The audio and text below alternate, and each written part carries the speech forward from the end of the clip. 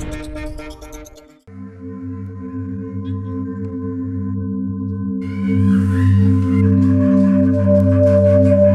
esta ocasión estamos presentando el Festival de Terror 2015, es nuestra segunda versión.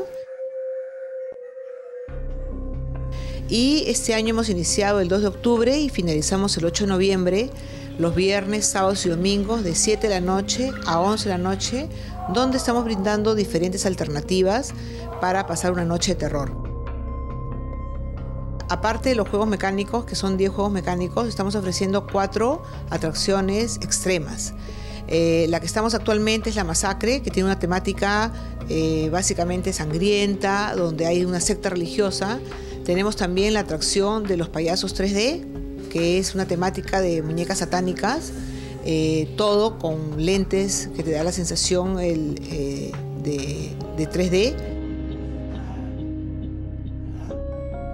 Eh, la tercera es la mansión embrujada, que es una mansión en la que entras en carritos y es eh, para que puedas ver básicamente apariciones y fantasmas. Y la cuarta es una casa donde se viven sensaciones, sensaciones de claustrofobia. Tenemos más de 30.000 metros donde pueden tener diferentes escenarios. Tenemos el hombre lobo, escenario de, de zombies, tenemos pasadizos, tenemos zonas de contagio donde te puedes contagiar también, escenarios de fotos.